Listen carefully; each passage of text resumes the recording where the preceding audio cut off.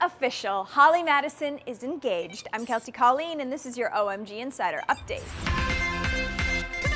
Holly Madison might already have a beautiful daughter, Rainbow Aurora Rotella, with music festival producer Pasquale Rotella, but it seems like he's finally ready to put a ring on it for reals. While you may have seen the two picking a ring out on Holly's reality special, the couple didn't make their official engagement officially official until this weekend. He popped the question officially to Holly on Sunday in Las Vegas at the Electric Daisy Carnival and made sure every last detail was captured on camera and shared via Instagram with their fans, sharing the location and their proposal as it all went down. He wrote, I know we have a set date already, but I officially asked this morning. She said yes. Thanks to those headliners who celebrated with us on and next to the art car till 6.30 a.m.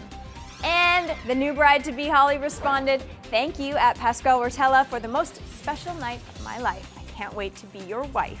Since there was a baby birth special with Rainbow and Holly, you remember that? It was very emotional. We all cried. Yes, I know you did too. Do you guys think that Holly will have a wedding special? And if she does, would you watch it? Let me know. Hit me up on Twitter. I'm at Kelsey Colleen. Use our hashtag OMG Insider and be sure to tune in to OMG Insider on TV tonight for the latest in entertainment news. Bye, guys.